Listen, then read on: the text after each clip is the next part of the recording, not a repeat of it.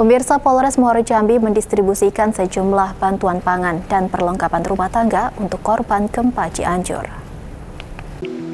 Distribusi bantuan kemanusiaan itu dilepas langsung oleh Kapolres Muaro Jambi AKBP Yuyan Priyatmaja.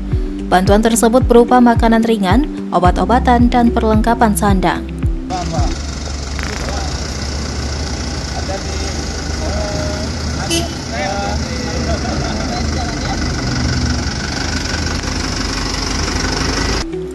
Bantuan tersebut merupakan aksi kemanusiaan sebagai rasa peduli untuk para korban gempa.